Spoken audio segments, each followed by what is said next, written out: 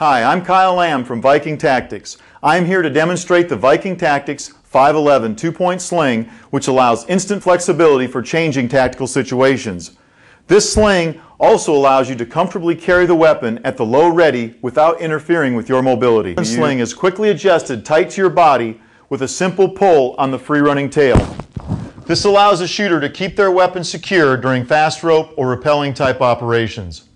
Once safely on the ground, a quick pull on the release lanyard puts the weapon back into operation. Our sling also allows the tactical shooter to secure their weapon across their back when required during certain tactical operations, such as climbing a ladder, cuffing a suspect, or any time you need the use of both hands.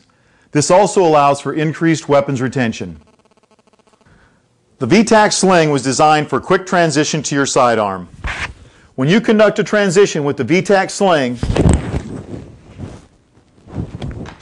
The weapon is still retained close to your body, yet out of the way, providing increased mobility. Transition the weapon from your strong side to your support side.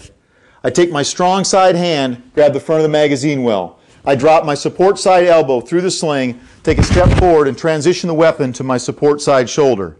To transition back, I take my support side hand, grab the front of the magazine well, take a step forward, and transition the weapon back to my strong shoulder.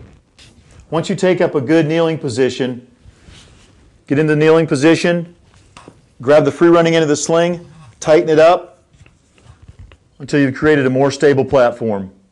The Viking Tactics sling allows you to increase the stability of your weapon system while in position. I've taken up a sitting position, look down my sights, I've got a lot of movement. I reach up, I grab my sling, the free running end, and I pull it down until it's tight. now I've increased the stability of my rifle with the tight sling.